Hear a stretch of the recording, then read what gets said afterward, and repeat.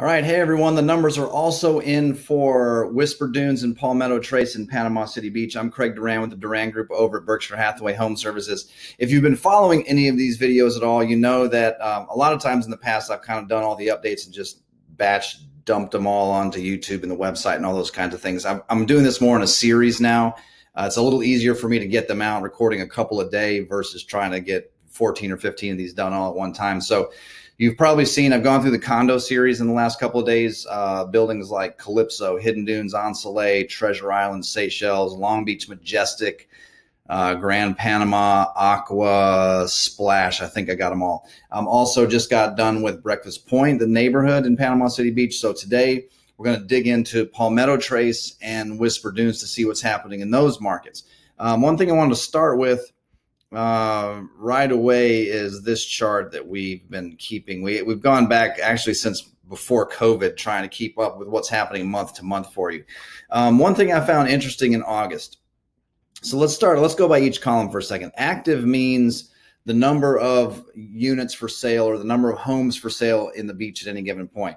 We know in, in April, well, let's start in January. In January, we were 38% uh, we had 38% fewer homes for sale than we did compared to the January of 2021, meaning we we really really were low supply, tight inventory, however you want to say it.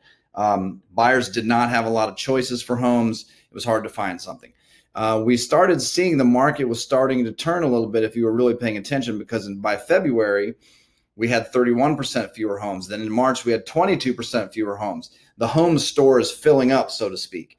By April, we were flat. And then look at what's happened since then. May, we're 24% more homes for sale same time last year, then 45% more, then 47% more, and 53% more now in August. So the home store is filling up again. Buyers have more choices, basic supply and demand. The number of new listings coming up for sale slowed down a little bit. This is worth paying attention to. Uh, back in May, there were 53% more new homes coming up in that given month. Only 7% hit the market in August. But here's the big number to pay attention to um, the number of new contracts written. And look at what's happened most of the year.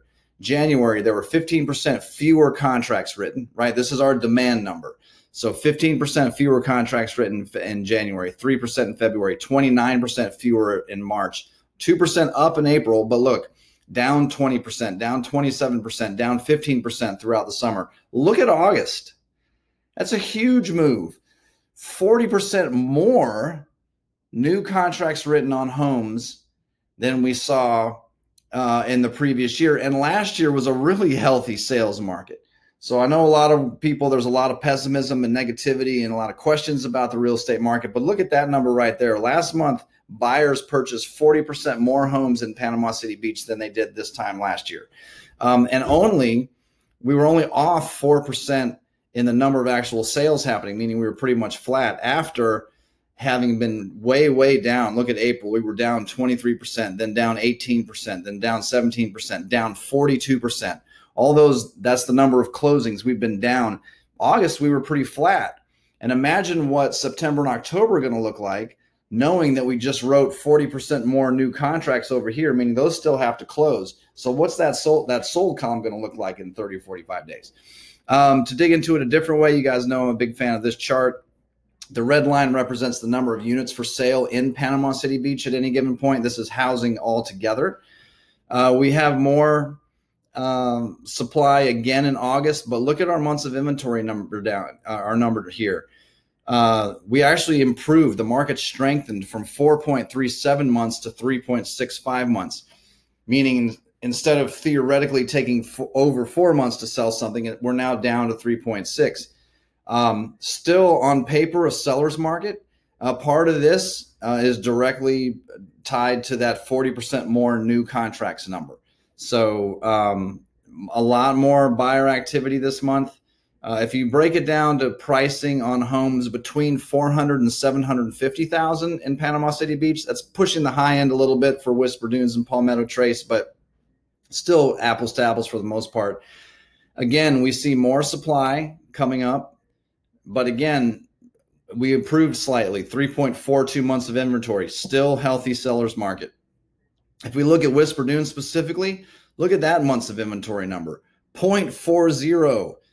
Theoretically, you would put a house for sale in Whisper Dunes and it would close 0.4 months later. Right, half a month. That's how ha- how fast uh, or how good the market is in Whisper Dunes. Palmetto Trace, similar story.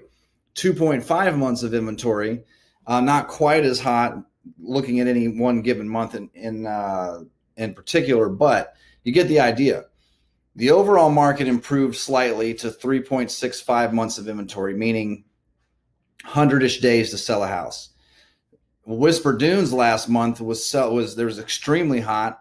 0.4 months of inventory is as hot of a seller's market as you can get. And Palmetto Trace, and I combined detached single family and the townhomes just for this video, uh, but still sitting at two and a half months of inventory, still a very good seller's market. So, what does this tell you if you own real estate in Whisper Dunes or Palmetto Trace?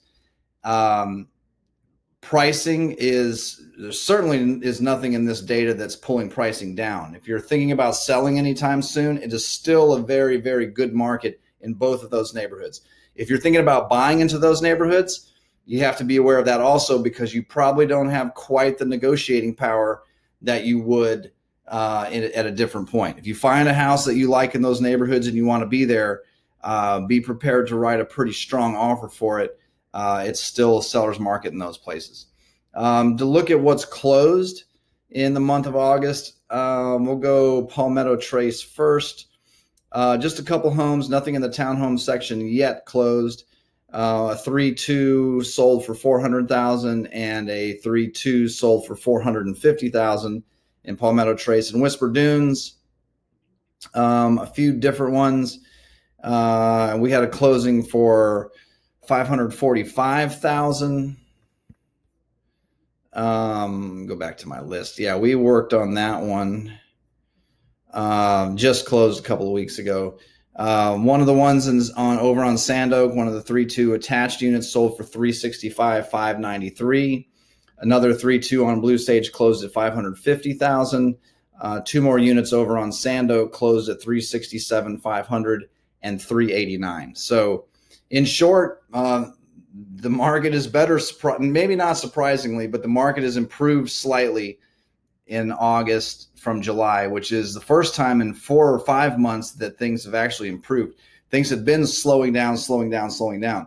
Um, a little bit better if you're a seller if you're owning. So again, uh, if you're if you're selling anytime soon, you can be a little more ambitious with pricing than you might have thought you could be if you were looking at these numbers in July. So um, hopefully you guys enjoyed this. Again, I'm Craig Duran with the Duran Group over at Berkshire Hathaway Home Services.